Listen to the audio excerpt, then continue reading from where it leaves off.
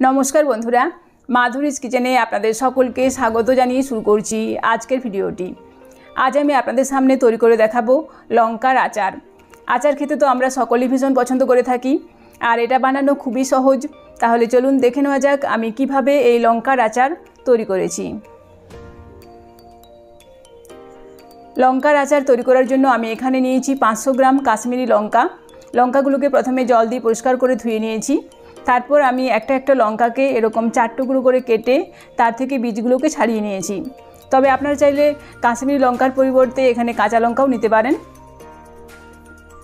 আর এখানে নিয়েছি পনেরো পিস পাতি লেবু। লেবুগুলোকে জল দিয়ে পরিষ্কার করে ধুয়ে নিয়েছি। তারপর আমি একটা একটা লেবুকে চার টুকরো করে কেটে নিয়েছি।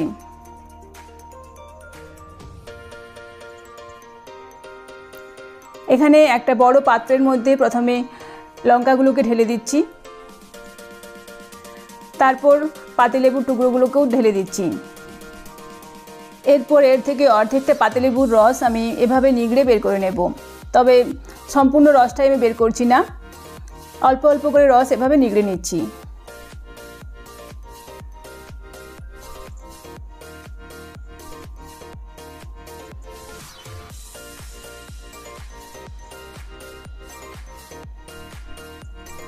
এরপর এর মধ্যে দিচ্ছি চার টেবিল চামচ লবণ।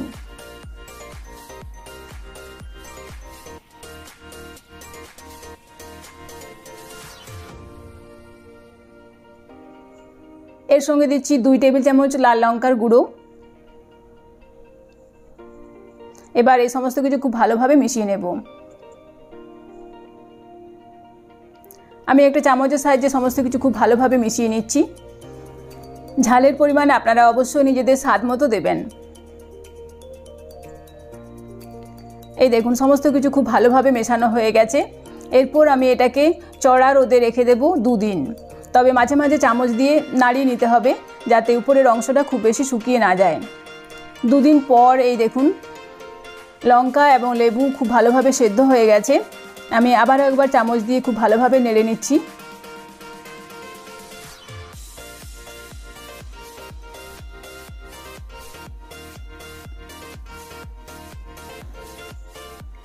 এরপর এখানে একটা বাটির মধ্যে নিচ্ছি সর্ষের গুঁড়ো। আমি এখানে চামচ মেপে আট টেবিল চামচ সর্ষের গুঁড়ো নিচ্ছি। পঞ্চাশ গ্রাম থেকে একটু বেশি।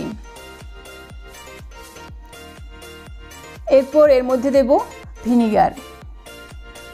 সর্ষের গুঁড়োটা যাতে ভিজে যায়, সেরকম পরিমাণে ভিনিগারটা এখানে দিতে হবে। এরপর চামচ দিয়ে খুব ভালোভাবে মিশিয়ে নেব।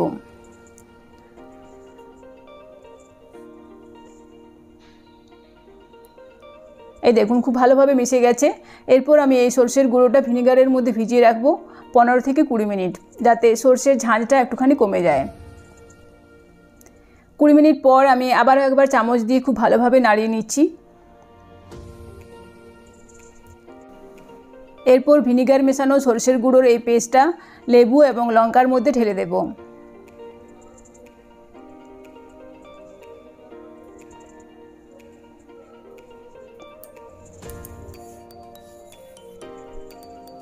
এবার একটা চামচের সাহায্যে এটাকে খুব ভালোভাবে মিশিয়ে নিতে হবে।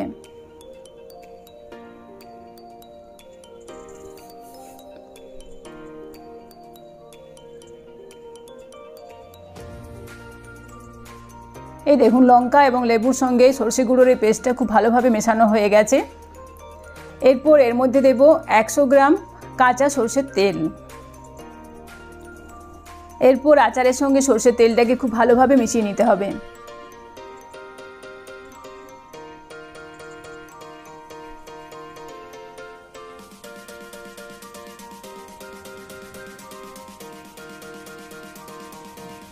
এই দেখুন, সর্ষের তেল আচারের সঙ্গে ভালোভাবে মেশানো হয়ে গেছে। এরপর এই আচারটাকে চড়া রোদে রেখে দিতে হবে তিন থেকে চার দিন। তবে মাঝে মাঝে চামচ দিয়ে নাড়িয়ে নিতে হবে। চার দিন পর এই দেখুন, আচারের কালার কিন্তু চেঞ্জ হয়ে গেছে। লঙ্কা এবং লেবুর আচার আমার তৈরি হয়ে গেছে। আচারটা ঠান্ডা হয়ে যাওয়ার পর আমি একটা কাঁচের বয়ামের মধ্যে রেখে দেবো। আচারটা অবশ্যই ঠান্ডা হয়ে যাওয়ার পর কাঁচের বয়ামের মধ্যে রাখতে হবে। আর আচারটা যদি মাঝে মাঝে রোদ্রে দেওয়া হয়, তাহলে আচার আরও বেশি দিন ভালো থাকবে। তৈরি হয়ে গেল আমার আজকের রেসিপি লঙ্কা লেবুর আচার। আমার এই রেসিপিটা যদি আপনাদের ভালো লাগে, তাহলে অবশ্যই একটা লাইক করবেন, বন্ধুদের মধ্যে শেয়ার করবেন এবং কমেন্ট করে জানাবেন। আর যারা এখনও আমার চ্যানেলটিকে সাবস্ক্রাইব করেননি, তাদের কাছে অনুরোধ রইল চ্যানেলটিকে সাবস্ক্রাইব করার জন্য।